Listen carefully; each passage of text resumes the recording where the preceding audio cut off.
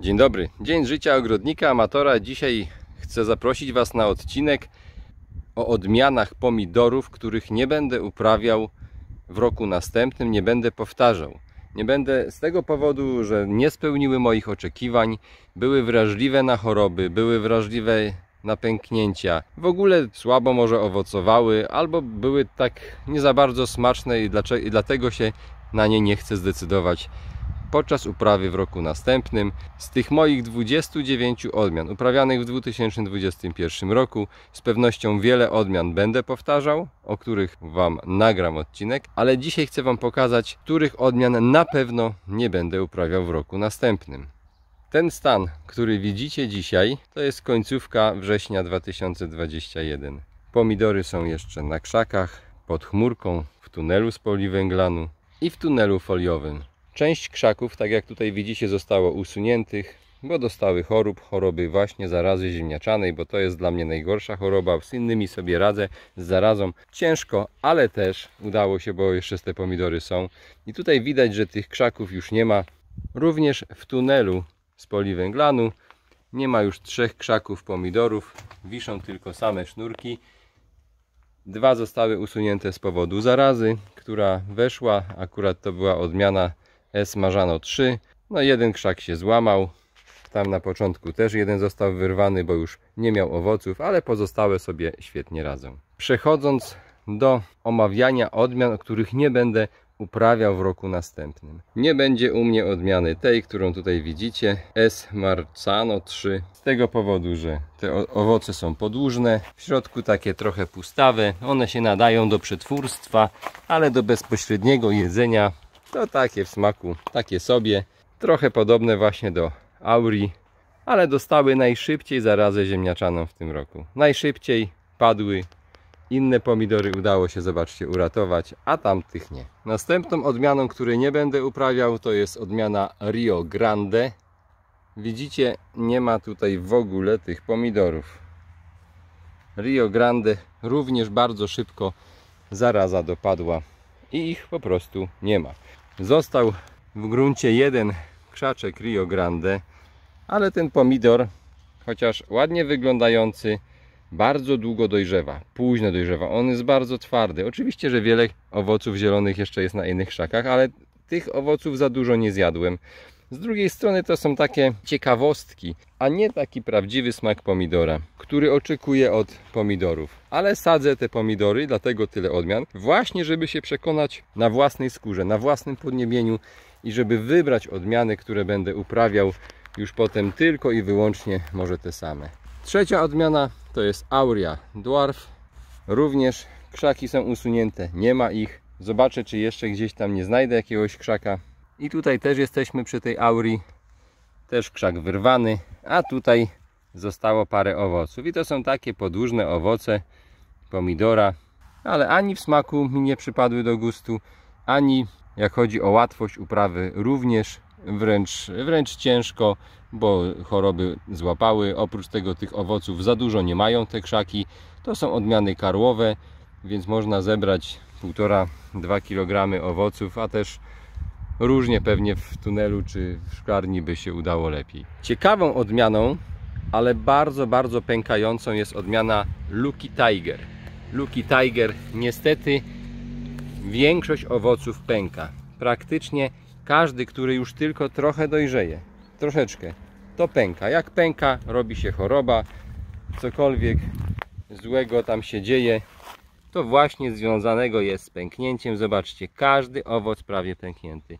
Wygląd ciekawy tego owoca. Tych owoców można powiedzieć tak średnio umiarkowanie, jak chodzi o ilość. W smaku można powiedzieć taki pomidor z nutką cytrynowego, kwaśnego, ale jak chodzi o uprawę, o to, że tyle owoców, co ja wyrzuciłem tej odmiany Lucky Tiger, serce się kraje, bo by trzeba było codziennie przychodzić, zrywać i zjadać te pęknięte, zanim się tam coś wejdzie, jakaś, jakieś choróbsko, czy coś tam zgnije, potem owady to przyciąga.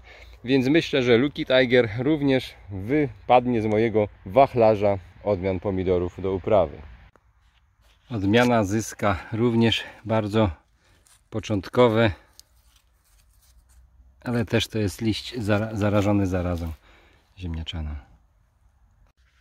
Następna odmiana, odmiana poranek, też zarażona zarazą. Tutaj już bardzo mocno ten liść dotykał ziemi. Można też się zastanawiać nad odmianą Betalux, ale w ogóle nad odmianami karłowymi.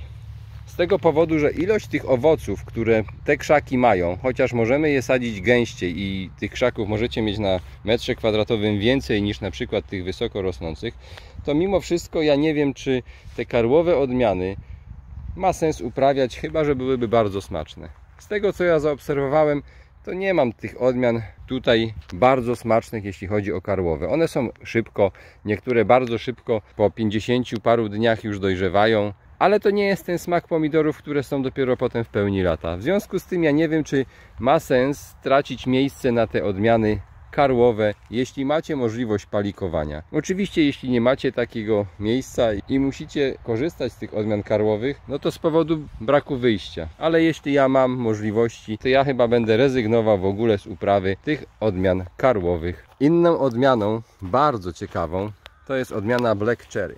Black Cherry, ale dlaczego mu pokazuję ją w filmie, że zastanawiam się, czy uprawiać ją w dalszym ciągu. Otóż również ta odmiana bardzo mocno pęka. W gruncie pod chmurką te owoce pękają nawet zanim dojrzeją. W smaku są wyśmienite, bardzo fajnie wyglądają. To jest odmiana typu cherry, taka mała koktajlowa, ale się zastanawiam nad nią. W gruncie z pewnością, czyli pod chmurką z pewnością nie będę uprawiał tej odmiany, ale w tunelu z poliwęglanu jak najbardziej, bo mam tą odmianę i ona rośnie bardzo fajnie, bardzo wysoko i ma bardzo dużo zawsze owoców. Zresztą mogliście zobaczyć na moich filmikach wcześniejszych. Ona cały czas zawiązuje, zawiązuje nowe. Widzicie, że są zielone. A to październik, początek października. Ten filmik nagrywam w kilku dniach, więc część końcówki września i początku października. Odmiana Gargamel, o której się zastanawiam, czy ją uprawiać w roku następnym, a tuż dlatego, że bardzo długo dojrzewa. Ma z kolei piękny kolor, taki śliwkowy. Te owoce są fajnie wybarwione. W smaku niektóre są z nutą gorzkiego, ale w większości są bardzo smaczne. I może tylko jeden czy dwa krzaki takiej odmiany Gargamel posadzę, ale też nie więcej. Nie będę również uprawiał odmiany Pink Siberian Tiger, dlatego że te owoce mi nie smakują. Domownikom też bardzo długo dojrzewa. To jest taka odmiana podobna do Gargamela, chociaż ona się wybarwia potem tutaj na, na jasno. W smaku taki nie pomidor, więc nie przypadła mi do gustu. Odmiana Blue Streak, tak się to jakoś czyta, również nie przypadła mi do gustu. Też takie odmiany podobne, podobnie do tej odmiany wcześniejszej, ale nie będę ich uprawiał, bo mi się nie podoba, nie smakuje i bardzo długo dojrzewa.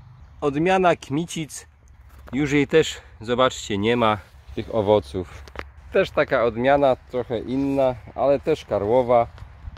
A tak jak powiedziałem, że się będę zastanawiał w ogóle, czy uprawiać te karłowe odmiany, raczej nie. To tylko Wam pokazuję, której następnej nie biorę pod uwagę na rok następny.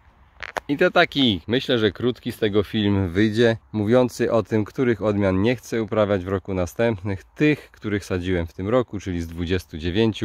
Może to Wam da jakiś pogląd na własne uprawy, a może u Was wysz, wyszły bardzo dobrze, więc napiszcie w komentarzach, bo to warto wiedzieć. Może coś tutaj im nie zadziałało, może inne podłoże, inne pomidory mi wprawdzie rosną, a tym może nie pasować, dlatego że każda odmiana pomidorów troszeczkę może różnić się, jak chodzi o potrzeby pokarmowe, o potrzeby nawodnienia, mimo tego, że to jest pomidor, ale mogą lubić po prostu inne podłoże, inne warunki uprawy. Jedne bardziej lubią właśnie w tunelu, jedne na zewnątrz, chociaż ja uważam, że pomidory wszystkie rosną lepiej w tunelach pod zadaszeniem.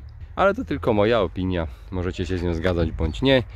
To wszystko w tym filmiku. Dzięki za uwagę, do usłyszenia i do zobaczenia.